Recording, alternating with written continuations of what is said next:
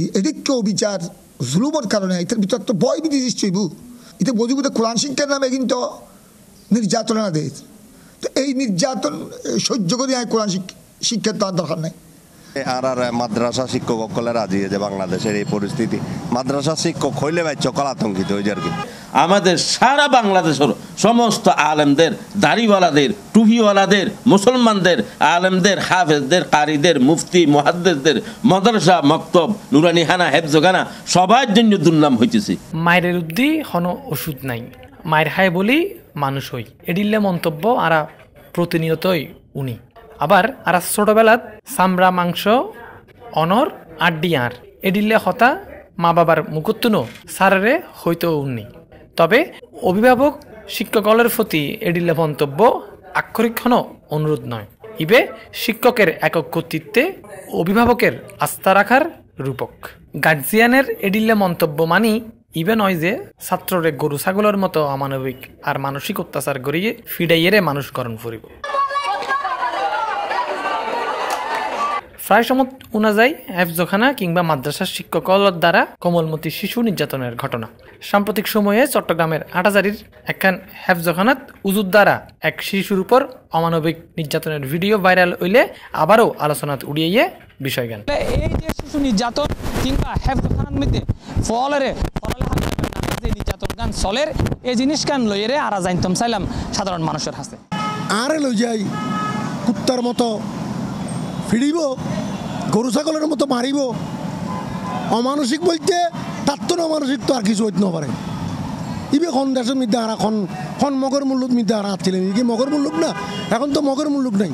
তো মগর মূল্যগত মগর মূল্যগত তো মানুষ বসবাস করে। এটাও তো এরকম নির্যাতন হইতে পারে।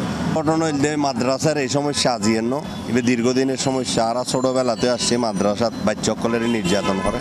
এই আল কোরআন শিখাই বেল্লাই কিংবা মুখস্থ করে বেল্লাই, কেউ জবরদস্তি কিংবা মাধ্যরকরণ ফরে, এই জিনিস কান? হনমিককে লেখা নাই।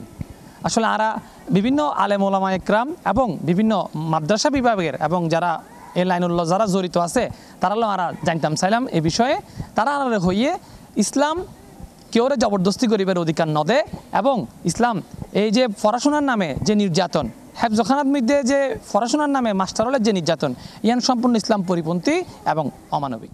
যে ব্যক্তি বড়জনরে শ্রদ্ধা নকরিব এবং ছোটদের প্রতি স্নেহ, মায়া, মমতা নকরিব আল্লাহর প্যারা রসুল স্পষ্ট ঘোষণা দিয়ে ঘোষণা দিয়ে ফেলাইছা মিন্না। ইবার প্রকৃত উন্মতর অন্তর্ভুক্ত নয়।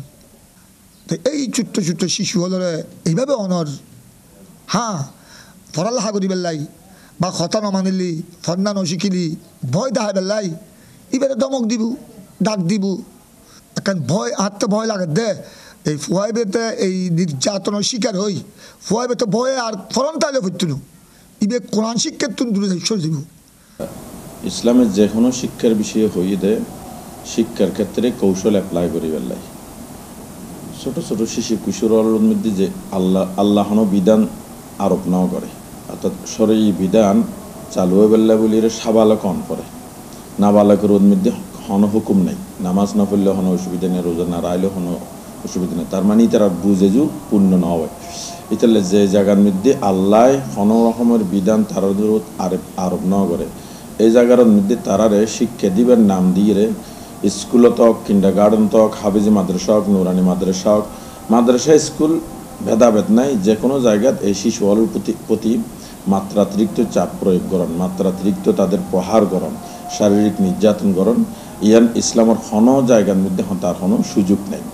এমনকি বিশ্বব্যাপী বিভিন্ন বড় বড় প্রতিষ্ঠান, দারুল উলুম দেওবন আল্লাহ জাহার, পাকিস্তানের বিভিন্ন মাদ্রাসা সহ ফতোয়া জারি দেয় যে শিক্ষাল্লাই কোরআন শিক্ষাল্লাই বা অন্য কিছুল্লাই ছোট ছোট শিশু কিশোর যারা একেবারে কোনো বয়সে ছোট, তাদের মধ্যে প্রহার করণ তাদের শারীরিকভাবে কোনো অঙ্গর মধ্যে অতিরিক্ত মারধর করণ ইয়ান জায়জ নয়। মাদ্রাসাত কিংবা অ্যাপজখানাত শিক্ষক নিয়োগ দেওয়ার ক্ষেত্রে যাচাই বাছাই করি নিয়োগ দন, আর এসব শিক্ষক রূপী জানোয়ারকলরে দৃষ্টান্তমূলক শাস্তির আইনের বিধান রাহি সরকারের প্রতি অনুরোধ জানাইয়ে চট্টগ্রাম প্রাইভেট মাদ্রাসা অ্যাসোসিয়েশনের সভাপতি। দুই পাঁচজন শিক্ষকে এরকম অনৈতিক কাজগুলো করার কারণে আমাদের সারা বাংলাদেশের সমস্ত আলেমদের, দাড়িওয়ালাদের, টুপিওয়ালাদের, মুসলমানদের, আলেমদের, হাফেজদের, কারিদের, মুফতি, মহাদ্দেসদের, মদরসা, মক্তব নুরানিহানা হেফজগানা সবার জন্য দুর্নাম হইতেছে। এইভাবে গরুর মতন, হাইওয়ারের মতন, জানোয়ারের মতন যারা পিড়াইতেছেন মাইতেছেন নির্যাতন করতেছেন, এদেরকে কোনো অবস্থাতেই আমাদের যত প্রাইভেট মাদ্রাসা আছে, আমি প্রাইভেট মাদ্রাসার সভাপতি হাফেজ তৈয়ব। আমার পক্ষ থেকে আপনাদের সবাই সমস্ত প্রিন্সিপালদের কাছে আমি আরজ করতেছি, এটা কেন আমাদেরকে সরকার প্রশাসন কেন লাগবে? আমরা তো সবাই কোরআনওয়ালা, আমরা তো সবাই হাদিস শরীফ পড়ছি। হ্যাফজখানা কিংবা কতিপয় প্রাইভেট মাদ্রাসার ক্ষেত্রে সরকারি হন নির্দিষ্ট নীতিমালা ও আইন নতাহনের কারণে প্রতিনিয়ত হ্যাফজখানা ও মাদ্রাসাত শিক্ষকলের দ্বারা ঘটের শিশু নির্যাতন ও বালাৎকারের ঘটনা। অনতিবিলম্বে এসব হ্যাফজখানা ও শিক্ষা প্রতিষ্ঠান পরিচালনার ক্ষেত্রে একখান নির্দিষ্ট নীতিমালা ও আইন প্রণয়নের দাবি সচেতন মহলের। Arafat Kader, C plus TV.